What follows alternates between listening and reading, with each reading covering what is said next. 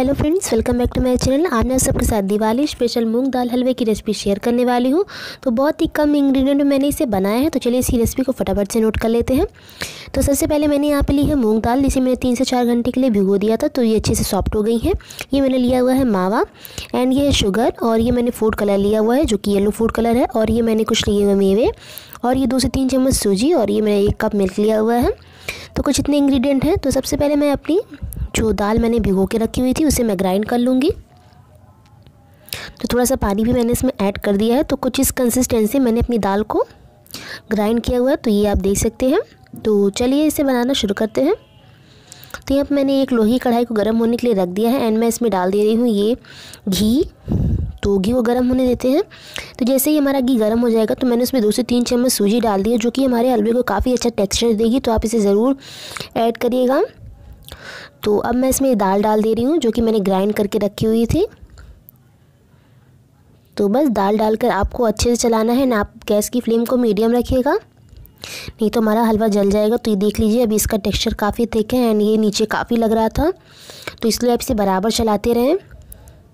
क्योंकि अगर आप थोड़ा सा भी इसे छोड़ देंगे तो ये जल जाएगा और वो बर्न इसमें आने लगेगी, जो कि हमें नहीं चाहिए। तो ये देखिए, हलवा धीरे धीरे से भुनना शुरू हो गया है। तो आप इसे बराबर चलाते रहिए। तो अब मैं इसमें डाल दे रही हूँ दो से तीन इलायची जो कि मैंने क्रश करके इसमें डाल ली है। एंड हलवे को अच्छे से भूनते रहिए जब तक कि ये क्रम्बली टेक्सचर में ना आ जाए। तो मैं आपको दिखा रही हूँ कि कुछ इस, अभी इसका टेक्सचर थोड़ा सा स्टिकी है तो आप इसे अच्छे से भूनें। तो कुछ इस तरीके से आप पूरी कढ़ाई में स्प्रेड करके इसे अच्छे से भूनें ताकि इसमें कोई भी गांठें ना रह जाएँ। तो बस इस तरीके से आप भूनते रहिए। तो ये देखिए बिल्कुल क्रम्बली टेक्सचर में आ चुका है, लेकिन अभी ये पूरी तरीके से रेडी नहीं है। अभी आपको इसे और भूनना है। तो इसे थोड़ा सा आप और 10 से 15 मिनट आप इसे अच्छे से भून लें एंड गैस की फ्लेम को मीडियम ही रखिएगा। तो अब इसका टेक्सचर एकदम क्रम्बली हो चुका है तो मैं इसमें डाल दूँगी एक कप मिल्क एंड ये थोड़ा सा येलो फ़ूड कलर मैं इसमें डाल दे रही हूँ, जो कि बहुत ही अच्छा कलर देगी हमारे हलवे को।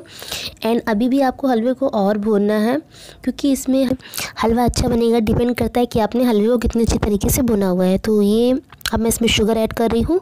तो शुगर थोड़ा सा अपना पानी रिलीज़ करेगी तो आपको पानी को पूरा सुखाना है। देन आपको उसे मावा ऐड करना है तो पानी को थोड़ा सा सुखा लेते हैं। तो थोड़ा सा मैं आपको जूम इन जूम आउट करके दिखाऊँगी कैसा मैंने शुगर डाला हुआ है। तो अभी ये क्रिस्टलाइज ही है। तो थोड़ा सा इसे मैं भून के, थोड़ी सी शुगर को मैं इसमें कैरमलाइज़ कर लेती हूँ। तो कुछ इस तरीके से मैं मीडियम फ्लेम पे हलवे को भून रही हूँ तो मैं आपको दिखा रही हूँ। तो ये देखिए, हमारी शुगर अभी अच्छे से कैरमलाइज़ नहीं हुई है। तो इसे थोड़ा सा और भूनते हैं। तो शुगर हमारी कैरमलाइज़ हो चुकी है एंड हलवा भी हमारा अच्छे से भुन गया है। तो देखिए, ये इकट्ठा होना शुरू हो गया है तो इसका मतलब हमारा हलवा अच्छे से भुन गया है, और ये बिल्कुल भी स्टिकी नहीं हो रहा है। तो अब मैं इसमें अपना मावा ऐड कर दूँगी, जो कि मैंने लिया हुआ था। एंड सबसे पहले मैंने ड्राई फ्रूट्स ऐड किए हैं। तो इसे भी मैं भून ले रही हूँ। आप चाहें तो ड्राई फ्रूट्स कोई भी ड्राई फ्रूट्स ले सकते हैं। उसे अगर आप घी में फ्राई करके डालते हैं तो और भी अच्छा होगा। अदरवाइज़ आप ऐसे भी ऊपर से डाल सकते हैं। कोई टेंशन नहीं है। एंड बस आप इसमें मावा डाल दीजिए। तो मैंने इसे मावा ऐड कर दिया है। तो मावा डाल के मैं इसे अच्छे से मिक्स कर लूँगी। एंड मावा भी थोड़ा सा कैरमलाइज होगा तो आप इसे टेंशन ना लें। आप थोड़ा सा इसे भूनें तो ये अच्छे से हलवे की कंसिस्टेंसी में आ जाएगा। तो ये देखिए, बिल्कुल हमारा हलवा बन के रेडी हो गया है। तो दस से पंद्रह मिनट मैं इसे और भूनूँगी एकदम स्लो फ्लेम पर। तो चलिए दिखाते हैं आपको अपना हलवा। तो ये देखिए, हलवा मेरा बन के रेडी हो गया मैं इसे आपको प्लेट करके दिखाऊँगी।